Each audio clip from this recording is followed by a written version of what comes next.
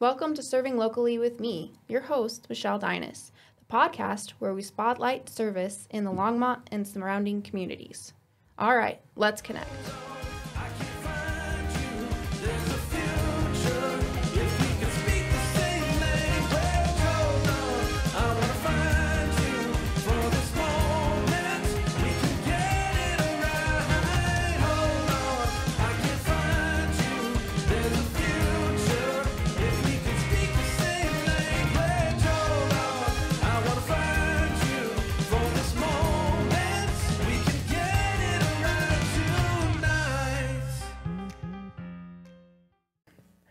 Hi, welcome to this special episode of Serving Locally with me.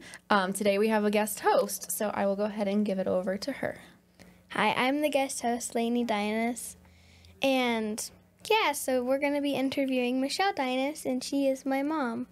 Let's start by asking Mrs. Longmont, how was the 2024 pageant? Hi, Lainey, and thank you for being my host today. I'm very excited about this. Um, I obviously did not win the title of Mrs. Colorado 2024, which is fine with me because I feel like I have more to do here at the local level. Um, but I was honored to win and be nominated and selected for the Mrs. Colorado Mrs. Congeniality 2024.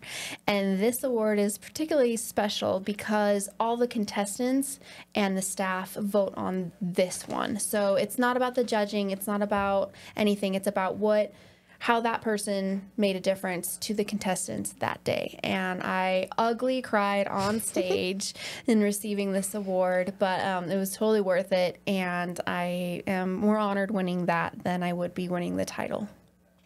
Yeah.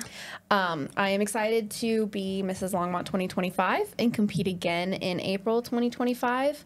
Um, this year the thing is be bold bring your story into the light. And so that's kind of what this episode is about.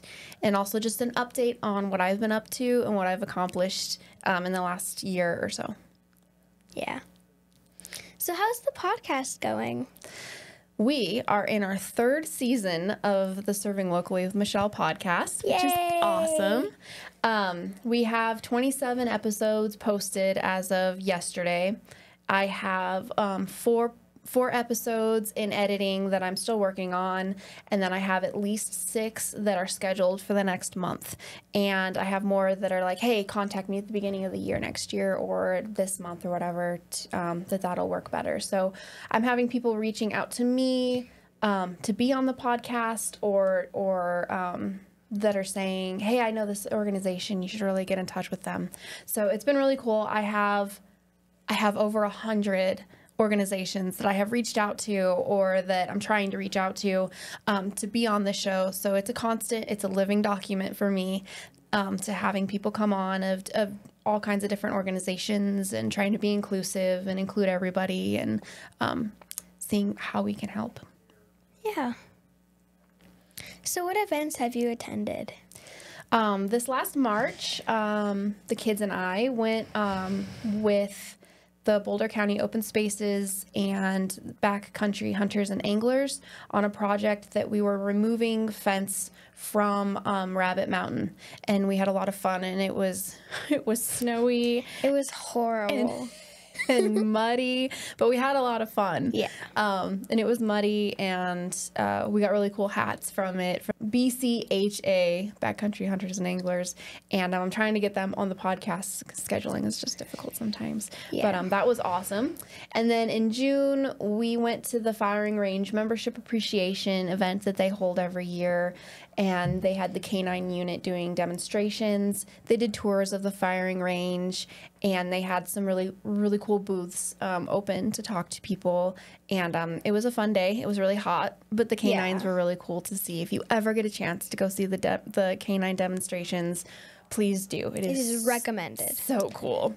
Um, and then in August, we attended Lainey and I. We attended the Unity and Community again. This would be our third our third year doing that Yeah. as Mrs. Longmont, and so we got to get in touch with a lot more communities, the community organizations, and touch base with some people, and that was that was fun. As it always is, it's exhausting, and we almost had enough time to get through all the booths, but Yeah. it, it was it was great. That's always a great event in August um, for for Longmont for unity and and community strengthening and and just um, learning about what's what's in the community and, and meeting people. So that was awesome. Yeah. So, have you taken any classes lately? Recently, I did the Longmont Public Safety Citizens Academy that was in September, and it's four classes long. They give you dinner, and you learn about all of the all, everything that public safety of Longmont has to offer, and it's absolutely incredible. And I highly recommend it next year. I would love to do it again next year. I unfortunately was sick on the very last day, so I wasn't able to attend that last class. But um, the rest of it was just it was really cool to meet police officers, SWAT team, canine unit guys, um, firefighters, and all the other people that are involved in public safety, and all the amazing things that they do behind the scenes to help victims or help just people in the community, the homeless, what, whatever it is. Um, it, it was it, it was awesome. There's so much more to public safety than just the police officers and the firefighters. So um, I think that that was um, it was great, and I highly recommend that. And I'm hoping to get them, some of them, on the podcast to talk about what they do because I think that their collaborative um, resources is absolutely outstanding, and that's something that the that the communities really need right now. I attended a gaining skills to build community and destroy loneliness with my church, which was 12, we- 12 weeks long. It was it was a very long class, and Yeah. they were two hour long classes, but it was really cool to learn how to connect with people on a deep level and help them not feel lonely, help them feel loved, completely loved and completely known. And that was something that was that was just perfect for what I'm trying to do here in building community and strengthening it. And since COVID, as we all know, it's been really hard to connect, get reconnected with Yeah. people. And um, I, I really enjoyed that class. Um, I've also I also took my food safety manager course and got certified as a food safety manager. So I have that, which I got to use this summer. And I'm also um, in the middle of taking a ketosis coaching certification class, so I can be a life coach and help people go through um, keto and ketosis on bettering your health and your life um, through diet and exercise and perspective on life. Wow. So, what have you been doing for work? This last summer, I was the concessions manager for Sunset Pool here in Longmont, and that was a lot of fun. I really enjoyed it. Um, it was it was really hot. It was very hot. it was it was a lot of fun, and we had we had fun. Yeah. Um, and then I just got a job offer to be the new ice pavilion coordinator um, for this coming winter. So last year I was a supervisor. This year I'll be the coordinator. So I'll be the big boss, and hopefully um, I can just help help it run a little bit better and just just hopefully make a difference there and and have a lot of fun because it will be a lot of fun working at the ice rink again. yeah. Yeah. So, are you still involved with the elections? I am very involved with the elections. Um, I worked the last two um, sessions, and then I will be working again here in November.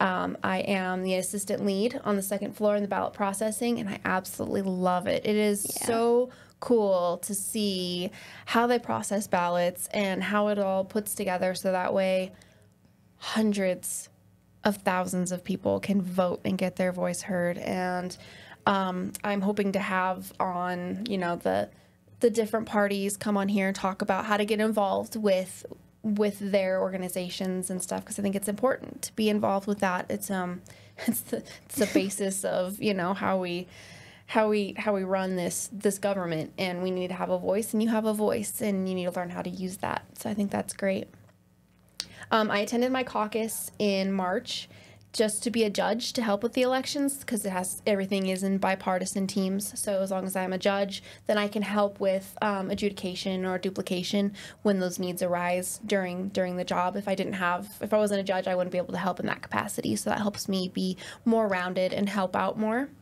Um, but during the caucus, um, I was elected to be my precinct's um, PCP or the precinct committee person. And this is pers- this is the person that represents their community, a very small section of the city.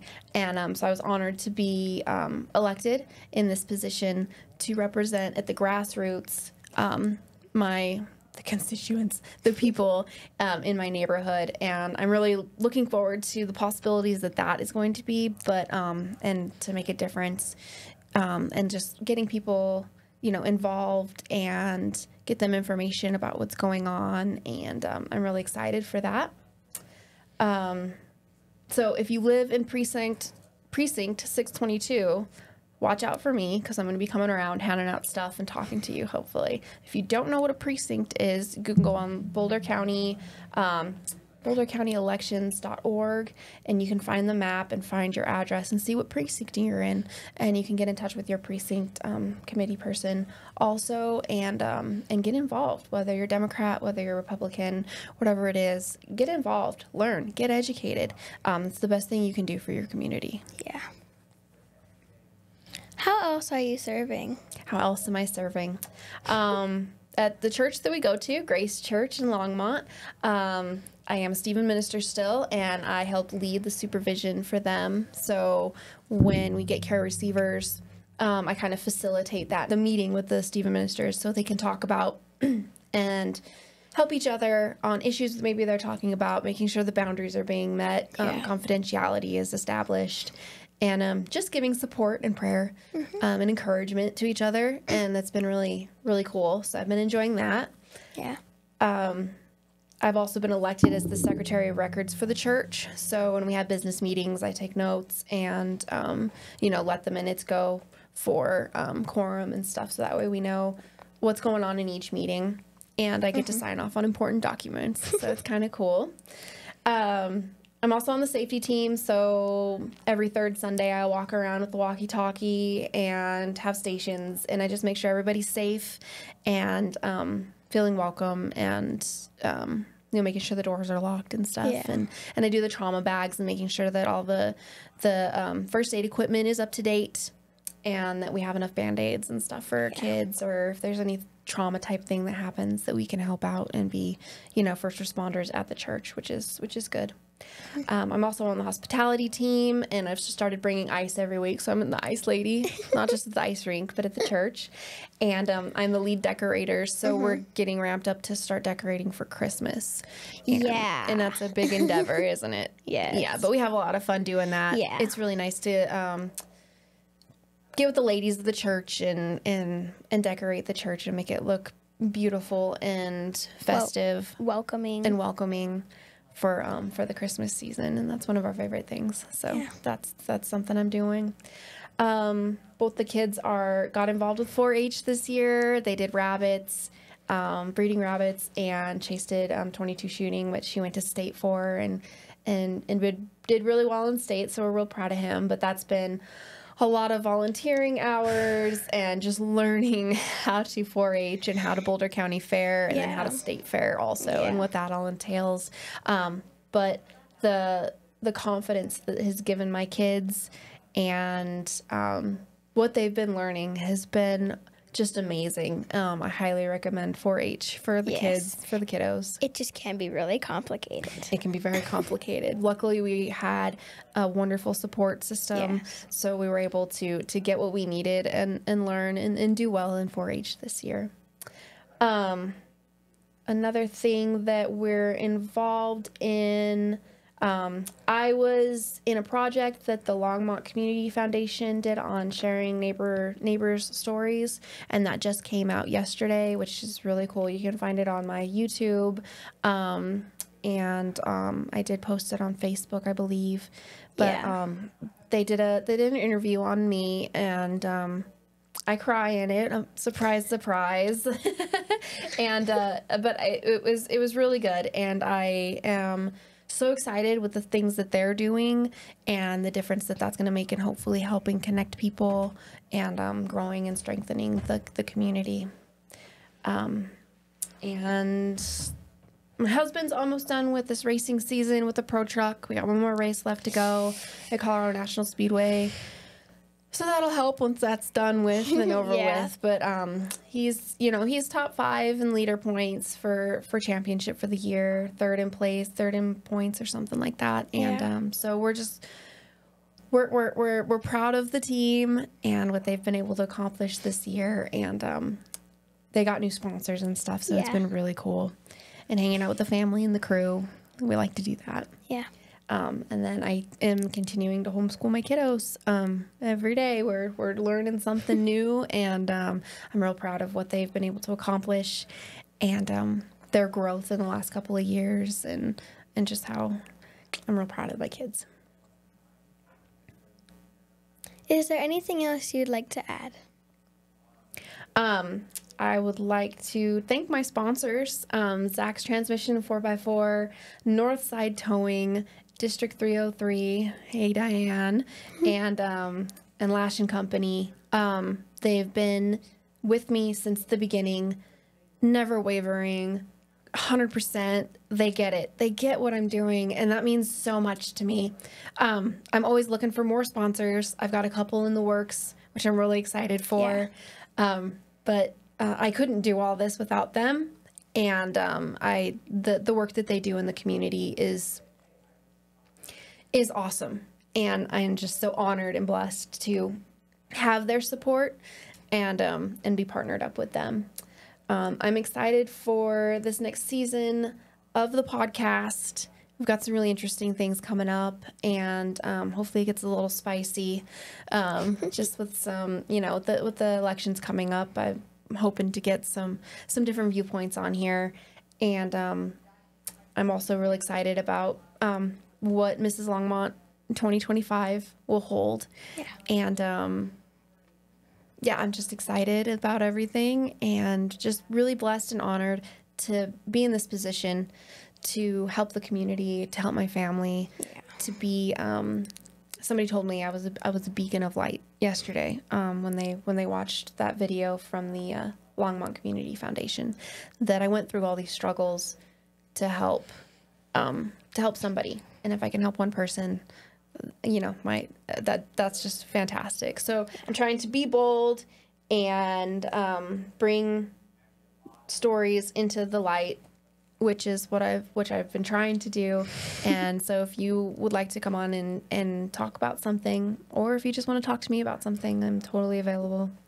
Yeah. Um, I'm also excited because Chase is going to have his own podcast here soon where he will be talking to military service members, veterans, and just talking to them, letting them share their stories, getting some insight, learning about some history, and just um, connecting with those, with that specific group of people. And I think that is going to be just so cool. And I'm so proud of him for wanting to take that step and gain that confidence to do that and be brave. And I think it'll be very entertaining. Um, since he wants a mic on this podcast, um, he'll have his own, and that will be just great for him. So, is there anything you would like to add? I don't think so. I do appreciate you are my partner in crime. She goes along with me to any eyelash appointment or hair appointment or unity and community or when I'm working, she likes to go and help um, help out doing stuff like that. So you'll always see my little mini me with me um, doing stuff. So thank you so much for hosting today, and Yeah. I'm very proud of you. Thank you. And um, yeah, I'm excited for what we do.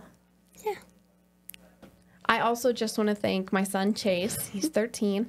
He's behind the camera, helping run the camera, helping to run the sound. He's my little producer, and he's been doing a great job. And I just appreciate that. And I just appreciate all of my supporters, all the people that believe in what I'm doing.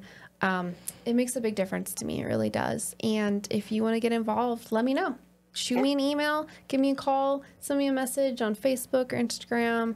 If you want to partner up on something, if you got an event going on, if you want to be on the podcast, or you want me to, you know, represent your business. Um, if it's local, I would love to do that. So, um, thank you. And uh, Yeah. yeah.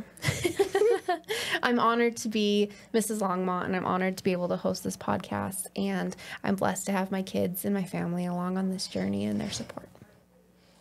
Thank you. Yeah. Thank you to my guests, my listeners, and my supporters. Serving together, we can strengthen our community. Please like and subscribe. Do all those other things. You know you got to do them because that's the easiest way to, that you can serve right now. All right, now go, connect with others, and be a blessing.